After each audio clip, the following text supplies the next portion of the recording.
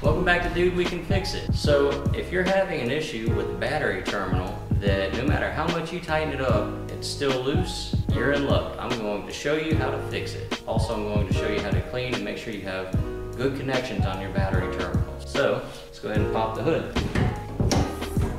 Alright, so I've already cleaned up one of these terminals here. You can see how nice and clean and a good contacting surface that is. And then over here, this one's just covered in crud and dirt. So we're gonna clean that up. Also, this one, it's, it's somewhat snug, but it's, it's still loose. So we're going to clean that up and get us a good solid connection. Alright, first we'll wiggle this off of here. Let's clean it up some. Next, we'll take our battery terminal cleaner and we'll clean up the battery terminal.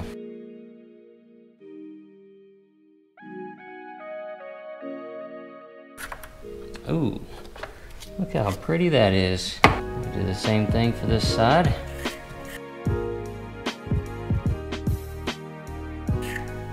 Boom, that's looking a lot better.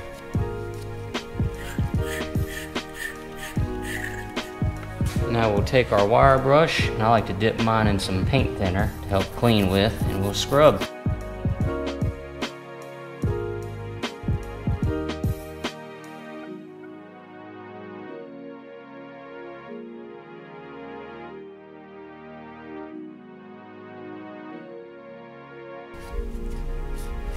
Alright, that's looking a lot better already. But we still have one problem. This, even though it's all the way tightened up, is not making a good connection on the battery post. So what we'll do, we'll take and we'll squeeze it together a little bit. Not a whole lot. We'll work it all the way around. And also do the top. You don't want to crush it in, but you do want to squeeze it together, maybe a 16th of an inch or so. There we go. Now we'll have to loosen this up to get it to fit on there.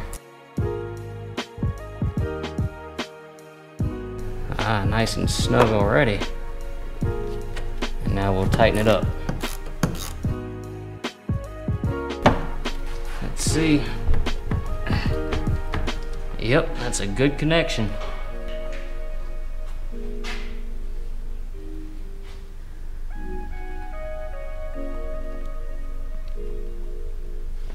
Now that our connections are clean and tight, we can go ahead and close the hood